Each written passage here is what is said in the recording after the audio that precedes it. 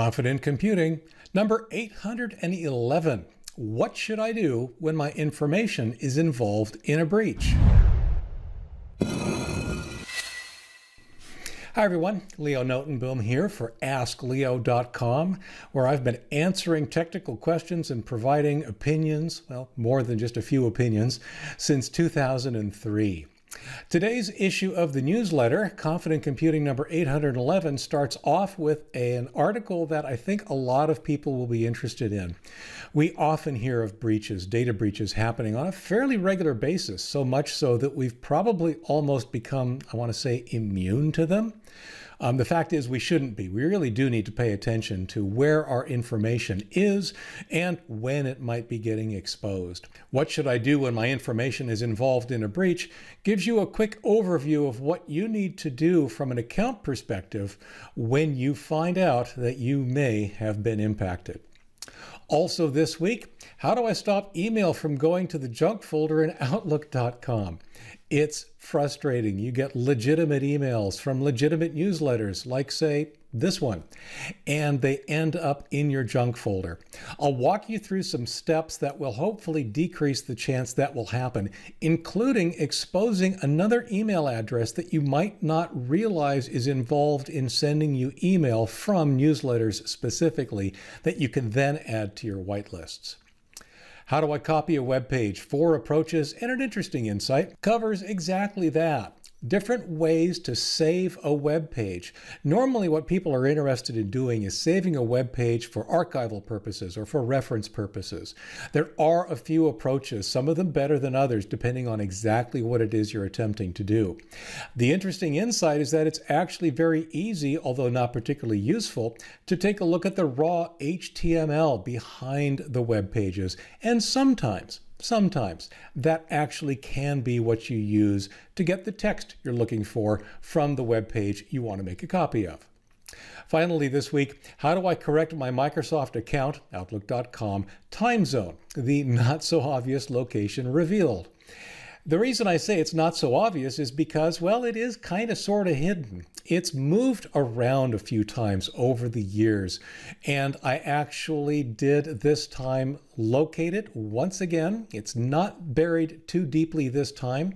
I'll show you where it is and what you might want to do if you find that the times on your emails are off by multiples of hours, either the ones you receive or the ones you send. We had a great TEH podcast this week. It was our episode number 100. Hard to believe we've been at this for a couple of years already. In celebration, we all turned on our cameras. We managed to get all of the original hosts and an additional guest. So we had five people on camera at the same time, using Zoom, of course, because that's what everybody uses. But let's face it, we've been using Zoom since before Zoom was cool. This time, like I said, we turned on the cameras, recorded the entire episode, and had a pretty good time doing it. You'll find that at tehpodcast.com. And of course, there's a link directly to the video in today's newsletter. Um, this Saturday, upcoming this Saturday, June the 6th, I'll be doing an Ask Leo live video event. This week, I'm going to talk about the survey results a couple of months ago now, uh, before the world changed, actually. I sent out a survey asking a couple of questions about what the major pain points for technology were for the readers at the time. The results are interesting, and I want to take a little bit of time and talk about them, go over them, um, extrapolate, extrapolate a little bit from them, and also take your opinions and your questions in real time. Uh, that's next Saturday, Ask Leo Live. It's 2 p.m. United States Pacific time. Um, AskLeo.com slash live info has all the information for the live events. And when the date gets closer, we'll be changing askleo.com slash live to point to the actual YouTube page where the live event will happen. You may have noticed a few changes, or as you read through this week's newsletter, you may notice a few changes to the articles that are published on Ask Leo. A couple of weeks ago, I posted an article to my personal blog talking about how um, basically, a lot of people are undergoing a lot of difficulty. Um, these are difficult times for uh, not just you know the businesses and the restaurants and so forth, but websites in particular, depending on what you're up to, have suffered fairly dramatically. Um, Ask Leo is no exception. Uh, I'll be blunt. Uh, the thought of actually shutting it all down did cross my mind for a very brief moment.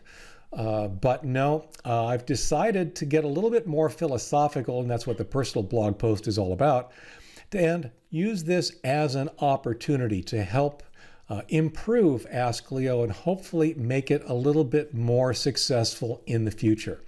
So if you've noticed changes, if you've noticed small changes in the way things are displayed, some of the way things are organized, note that that's exactly why they're happening. There probably will be some more changes along those same kinds of line, uh, same lines coming soon. Exactly what they'll be, I don't know. Chances are they'll also be relatively small. These, this, this is not the time for me to be making very large wholesale changes. But just so you know, as things change, I'm always interested in your feedback. You know, you can reply to a newsletter, uh, send email to leo at askleo.com, or go to askleo.com slash contact, and you can just drop me a message that way as well. A huge thank you, as always, speaking of surviving the pandemic, to the patrons of Ask Leo, because you are a huge part above what makes it possible for me to continue to do what I do. Uh, I cannot understate the importance of your support and my appreciation of it. Uh, thank you for being here and for making it all possible. That's it for this week. As always, I hope you're safe and well. Uh, I will see you again next week. Until then, be kind. Take care.